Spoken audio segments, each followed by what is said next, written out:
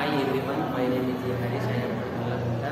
I have completed my degree in STHR Degree College in the year of 2021.